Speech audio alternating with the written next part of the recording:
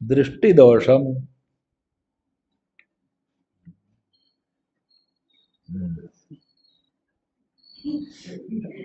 ദൃഷ്ടിദോഷം ഉണ്ടെങ്കിൽ ഇപ്പൊ ഇത് വായിക്കാൻ പറ്റുമോ ദൃഷ്ടിക്ക് വലിയൊരു ദോഷം ഇല്ലാത്തതുകൊണ്ടല്ലേ ഇപ്പൊ ഇത് വായിക്കാൻ പറ്റുള്ളൂ ഇല്ലേ?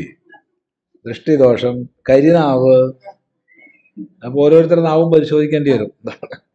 കരിനാവ് ഇതിന്റെയൊക്കെ വാസ്തവം എന്ത്?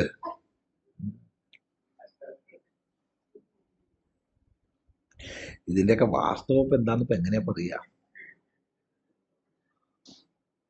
ആ, എങ്ങനെയാ ഇപ്പൊ ഇതൊക്കെ പറയാ? നമുക്ക് ഈ ലോകത്തിലുള്ള എല്ലാ വിഷയവും നമുക്കറിയോ? ഏ? നമുക്കറിയാത്തതൊന്നും ഇല്ല എന്ന് പറയാൻ പാടുണ്ടോ? ഇല്ലല്ലോ. അപ്പൊ ഇതൊന്നും ഇല്ല എന്നൊന്നും നമ്മൾ പറയില്ല. ദൃഷ്ടിദോഷമില്ല കരുതാവില്ല എന്നൊന്നും പറയില്ല. അപ്പൊ എന്നിപ്പോ എങ്ങനെയാ പറയുക നീ നന്നായി വരട്ടെ കുട്ടി. അനുഗ്രഹിച്ചാൽ അതിന് ഗുണമുണ്ടെങ്കിൽ നീ തൊലഞ്ഞു പോട്ടെ എന്ന് സങ്കല്പിച്ച അതിനും അതിനും ഗുണമുണ്ട്. അതിനും ഫലമുണ്ട്. അനുഗ്രഹ അനുഗ്രഹത്തിന് ശക്തി ഉണ്ടെങ്കിൽ ശാപത്തിനും ശക്തിയുണ്ട്. അപ്പൊ ചില ആൾക്കാർ പറഞ്ഞാൽ അതാണ് ഈ കരുനാവ് എന്നൊക്കെ പറയണത്. പറഞ്ഞാൽ ഫലിക്കില്ല എന്നാര് പറഞ്ഞു?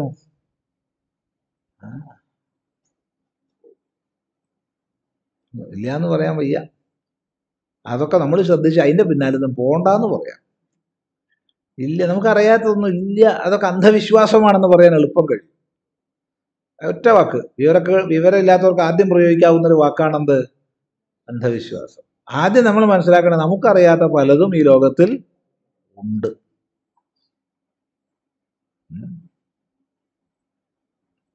അപ്പൊ ഇതൊന്നും ഇല്ല എന്നും പറയാൻ നമുക്ക് വയ്യ. ദൃഷ്ടിദോഷം. പക്ഷെ ഇതൊന്നും ബാധിക്കാത്ത അവസ്ഥയിലേക്ക് നമുക്ക് ജീവിക്കാമോ? അതാണ് ചോദ്യം. നമ്മുടെ ഉള്ളിൽ പ്രകാശം ഉണ്ടെങ്കിൽ പിന്നെ എന്ത് ദോഷമാണ് നമുക്ക് ബാധിക്കുക? ആ പ്രകാശം ഓരോരുത്തരുടെ ഉള്ളിൽ സ്വാംശീകരിക്കുക എന്നുള്ളതാണ് വേണ്ടത്. അല്ലാതെ ഇല്ല എന്നൊന്നും കയറി പറയാൻ നമുക്ക് വയ്യ. അയ്യോ സ്വാമി ഇത്ര വലിയ അന്ധവിശ്വാസിയാന്ന് ഞങ്ങൾ വിചാരിച്ചില്ല. എന്ത് പറഞ്ഞാലും കുഴപ്പമില്ല. കാരണം എല്ലാ വിശ്വാസങ്ങളും അന്ധമാണ്. അന്ധമല്ലാത്ത ഒരു വിശ്വാസവും ലോകത്തിൽ ഇല്ല ഉണ്ടോ? അന്ധമല്ലാത്ത ഏതെങ്കിലും വിശ്വാസം ഉണ്ടോ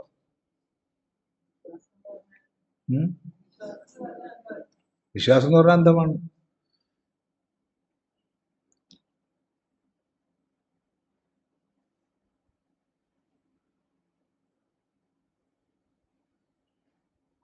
കഴിഞ്ഞ ദിവസം ഒരു രസകരമായ ഒരു അനുഭവം ഒരാൾ പറഞ്ഞു. വളരെ രസകരമായ അനുഭവമാണ്. അതായത് ഇദ്ദേഹത്തിന് ഒരു വയറിലൊരു സർജറി ഉണ്ട്. അത്ര അത്ര വലിയൊരു വിഷമം പിടിച്ച സർജറി എന്നാൽ ഇന്നത്തെ കാലത്ത് വളരെ നിസ്സാരമായിട്ട് മാനിക്കുന്ന ഒരു സർജറിയാണ്. എങ്കിലും ദേഹത്ത് കത്തി വെക്കുകയാണല്ലോ. ഇല്ലേ? അപ്പൊ അതിലൊരു നിസ്സാരം എന്നൊന്നും പറഞ്ഞ് ഒന്നിനും തള്ളാൻ പറ്റില്ല. അപ്പൊ ഇദ്ദേഹം ഡോക്ടറോട് പറഞ്ഞു ഇദ്ദേഹം വളരെ വിദ്യാസമ്പന്നായിട്ടുള്ള ആളാണ്. ബിരുദങ്ങളുടെ പട്ടിക നോക്കിയാൽ ഡോക്ടറേക്കാൾ പത്തിരട്ടി ബിരുദങ്ങൾ. പക്ഷെ മെഡിക്കൽ ഫീൽഡ് അല്ല നിങ്ങൾ വേറെയാണ്. എനിക്കൊന്ന് എന്തായാലും ഇത്രാം തീയതി ആണല്ലോ നമ്മൾ വിചാരിച്ചത്. അതിന് മുമ്പ് എനിക്കൊന്ന് കുടുംബക്ഷേത്രത്തിലൊന്ന് പോയിട്ട് ഒന്ന് പ്രാർത്ഥിച്ച് വരണം. എന്നിട്ട് മതി അഡ്മിഷൻ അപ്പോൾ ഇദ്ദേഹം ഇടത്ത വായിക്ക് ഡോക്ടർ പറഞ്ഞത് നിങ്ങൾ ഇത്ര വലിയ അന്ധവിശ്വാസിയാണെന്ന് ഞാൻ മനസ്സിലാക്കിയില്ല. ഉടനെ ഈ രോഗി പറഞ്ഞു നിങ്ങൾ എനിക്ക് ഓപ്പറേറ്റ് ചെയ്ത് തരണം ഞാൻ വേറെ ഏതെങ്കിലും ഡോക്ടറെ അടുത്ത് അതെന്താണ്? നിങ്ങൾക്ക് എന്റെ എന്നെ വിശ്വാസമില്ലേ? എന്ത്? നിങ്ങൾ എന്നെ ഇതിനു മുമ്പ് ഓപ്പറേറ്റ് ചെയ്തിട്ടുണ്ടോ? അപ്പം ഞാൻ നിങ്ങളുടെ ക്വാളിഫിക്കേഷനും ഇത്ര കാലം നിങ്ങൾ ആയിരക്കണക്കിന് സർജറി ചെയ്ത് വിജയിച്ചു എന്നുള്ളതും വെച്ച് വിശ്വസിക്കണം എന്ത്? എന്നെ ചെയ്താലും വിജയിക്കുമെന്ന് അത് അന്ധവിശ്വാസമല്ലേ അല്ല? ആണോ അല്ല? നിങ്ങൾ ക്വാളിഫൈഡ് ആണ്. അതിനെനിക്ക് യാതൊരു അഭിപ്രായ വ്യത്യാസമില്ല നിങ്ങൾ ആയിരക്കണക്കിന് സർജറി ചെയ്തിട്ടുണ്ട്. അതും ഞാൻ കേട്ടിട്ടുണ്ട്. പക്ഷെ എന്നിൽ നിങ്ങൾ ചെയ്യുന്ന സർജറി വിജയിക്കുമെന്ന് ഞാൻ മുൻകൂട്ടി വിശ്വസിക്കണോ അല്ല അനുഭവിച്ചതിന് ശേഷം അറിയണോ? ഈ തിയേറ്ററിൽ ബെഡിൽ കിടക്കുന്നതിന് മുമ്പ് എന്താ അതുകൊണ്ട് നിങ്ങളുടെ അടുത്തേക്ക് ഞാൻ ഇല്ല വേറെ ഡോക്ടറെ അടുത്തേക്ക് പോയിക്കോളാം അപ്പോഴാണ് മറ്റേ ആൾ അത് ശരിയാണല്ലോ ഡേ അത് ശരിയാണല്ലോ. അവർ പോലും വളരെ ചർച്ച ചെയ്ത വളരെ ചർച്ച ചെയ്തു ദീർഘമായ ചർച്ച ചെയ്തു. പിന്നെ ഈ ഡോക്ടർ ഒഴിവ് കിട്ടുമ്പോൾ ഇദ്ദേഹത്തിന്റെ അടുത്ത് സത്സംഗത്തിന് വരാൻ തുടങ്ങി. ഈ പറഞ്ഞ കക്ഷി അഹമ്മദാബാദ് ഇതിൽ ഐ ഐ എമ്മിലെ ഒന്നാം ബാച്ചിലെ ആളാ. ഇപ്പൊ തൊണ്ണൂറ്റി മൂന്ന് വയസ്സായി. ഇപ്പോ ഇപ്പൊ തൊണ്ണൂറ്റി മൂന്ന് വയസ്സായി. ഞങ്ങൾ കഴിഞ്ഞ ദിവസം സന്ധിച്ചിരുന്നു. അഹമ്മദാബാദ് ഐ എമ്മിത്തെ ഒന്നാമത്തെ ബാച്ചത്തെ ആളാ. എത്ര കൊല്ലം മുമ്പാന്ന് ആലോചിച്ചു. അന്ന് റാങ്ക് മാർക്കാണ് അതുകൂടാണ്ട് ലോയലുണ്ട് സി എ ഉണ്ട് എം കോം ഉണ്ട് എം എ രണ്ട് മൂന്നാലെണ്ണം ഉണ്ട്. ഇങ്ങനെയൊക്കെയുള്ള ആളാണ് ദേവൻ എനിക്ക് എന്റെ ദേവീനെ ഒന്ന് പ്രാർത്ഥിച്ചിട്ട് വന്നിട്ടേ നിങ്ങളെ ബെഡിൽ ഞാൻ കിടക്കൂ ഇവിടെ വലിയ സത്സംഗപ്രേമിയായി മറ്റേ ആൾ. ഇപ്പൊ അയാൾ ഇയാളെക്കാൾ കേമനാണത്രേ. ഏത്? ഭക്തി വിഷയത്തിൽ.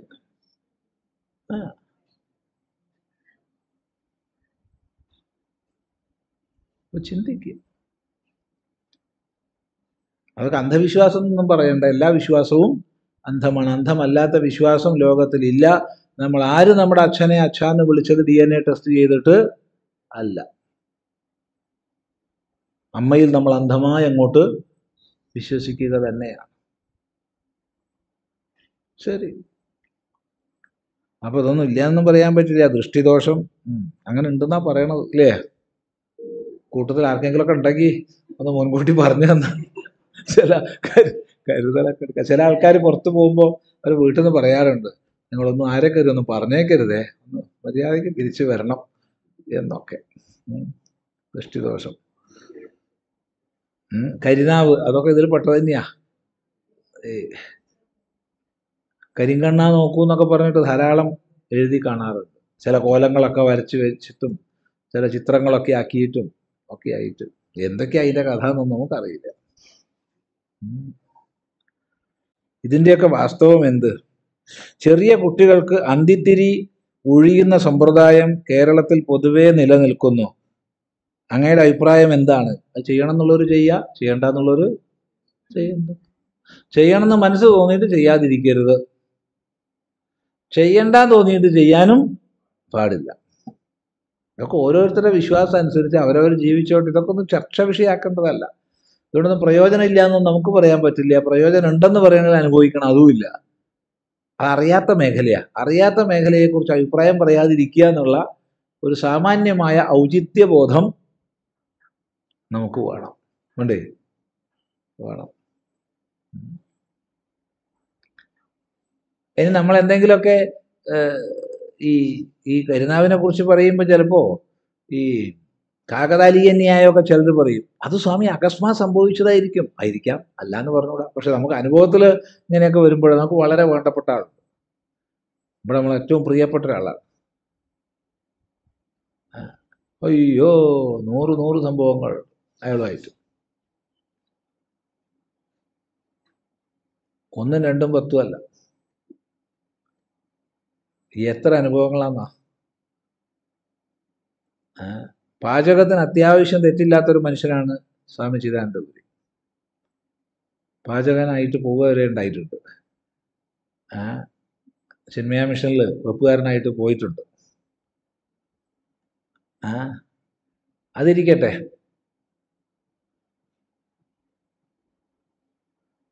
അപ്പൊ ഇവിടെ ഒരു സംസ്കൃത പഠന ശിബിരം ഉണ്ടായിരുന്നു സംസ്കൃത സംഭാഷണം. അപ്പോൾ അപ്പൊ അത് നല്ല ഗംഭീരമായിട്ടൊക്കെ നടന്നു. അസ്വലായിട്ട് വിചാരിച്ചതിനേക്കാളൊക്കെ നന്നായി. അവസാന ദിവസം ഒരു പായസമായി കളയാം അപ്പൊ ആരാ ഉണ്ടാക്കണത്? അത് ഞാനാ ഉണ്ടാക്കണത്. ശരി. അപ്പോൾ എല്ലാവരും വലിയ സന്തോഷമായി സ്വാമി ഉണ്ടാക്കി തരുന്ന പായസമാണ് എന്നൊക്കെ പറഞ്ഞു. ഒക്കെ വളരെ വളരെ വേണ്ടപ്പെട്ട പോലെയൊക്കെയാണ് ഒക്കെ പ്രവർത്തിക്കുന്നത് ഒരു കുഴപ്പവും വരാനില്ല. അപ്പൊ കക്ഷി നേരത്തെ നമ്മൾ സൂചിപ്പിച്ച കക്ഷി പറഞ്ഞു. ആരാന്ന് പായസം ഉണ്ടാക്കണത്? ഞാനാണ്. എന്നാ കണക്ക് തന്നെയാ. അന്ന് വയസ്സായത് തന്നെ. എന്റെ ഭഗവാനെ ഒന്നും പറയണ്ട. ഏ? അടി പിടിക്കലോ? അത് കട്ടയായിപ്പോയി. അവസാനം പിന്നെ ഇവിടെ വേറെ ചിലർ വെള്ളം കൂട്ടി തിളപ്പിച്ച വെള്ളം ഒഴിച്ച് ഇളക്കി ഇളക്കി ഇളക്കി പണിയെടുത്ത് കുറെ പണിയെടുത്തിട്ട് ഒരുവിധം നേരെയാക്കി. എന്നിട്ടും അത് സ്വാദായിട്ടില്ല. അത് കഴിഞ്ഞു ജീവി ഞങ്ങൾ യാത്ര പോയിക്കൊണ്ടേയിരിക്കുക ഗുജറാത്തിൽ കൂടെ വണ്ടി അങ്ങനെ സ്പീഡിൽ പോകുന്നു. ഒരു കുഴപ്പമില്ല അപ്പോഴാണ് കക്ഷി പറയണത് കേരളം വിട്ടിട്ട് ഗുജറാത്തിൽ ഇത്ര ദൂരം ഓടിയിട്ട് വണ്ടിക്ക് ഒരു കേടും വന്നിട്ടില്ലല്ലോ. ഒരു കേടും അതാ പൊട്ടി. ഡ്രൈവ് ചെയ്യണ നമ്മൾ തന്നെയാണ്. ചിദാനന്തപുരം സമയം തന്നെയാണ് ഡ്രൈവ് ചെയ്യണത് ആക്സിലേറ്റർ കേബിൾ പൊട്ടി. നിവൃത്തിയില്ല. അവിടെ അടുത്തൊന്നും കിട്ടാനില്ല. അടുത്തൊന്നും കിട്ടാനില്ല. അവസാനം എങ്ങനെയൊക്കെയോ എത്തിച്ചു ഒരു സ്ഥലത്ത്. നടന്നു പോയി.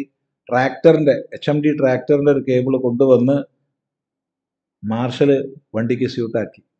പ്രഗത്ഭനായൊരു പണിക്കാരനെ കിട്ടി.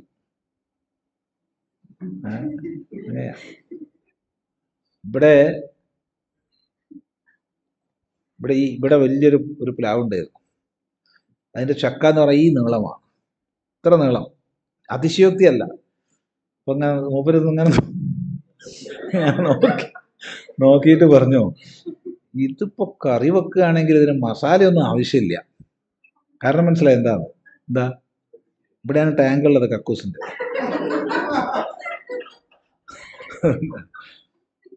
ആ ചക്കകൾ മൂന്നും വീണ് പോയി എന്ന് മാത്രമല്ല പിന്നെ ആ പ്ലാവിലുണ്ടായ ചക്കകളൊക്കെ എത്രയുണ്ട് അത് കഴിഞ്ഞ് പിന്നെ പ്ലാവ് ഉണങ്ങിപ്പോയി.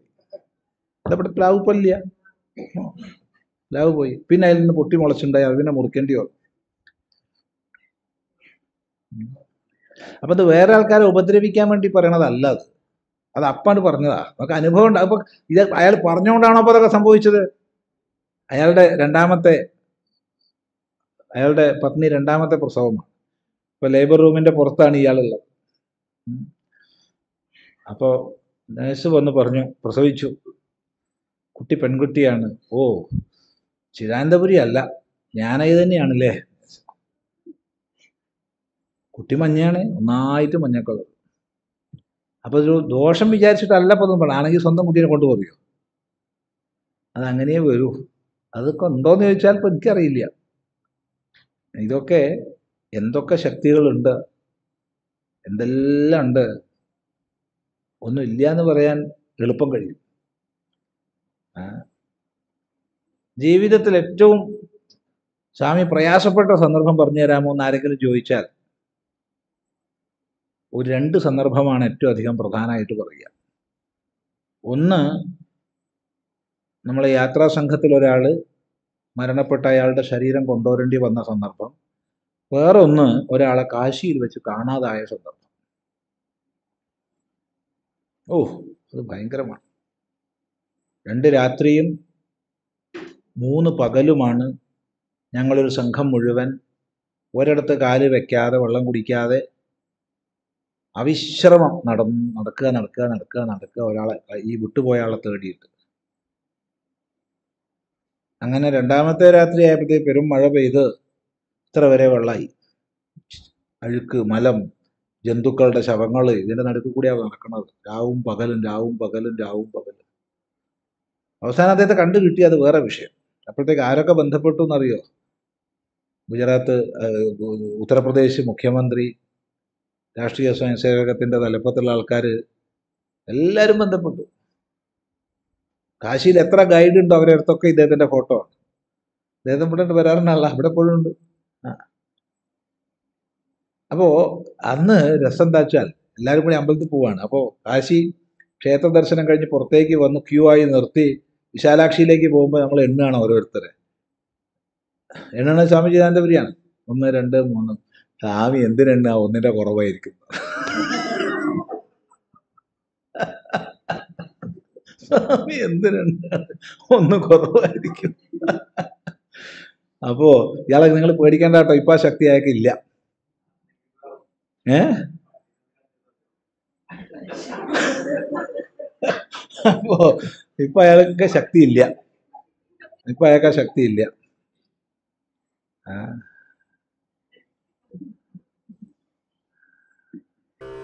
ഓ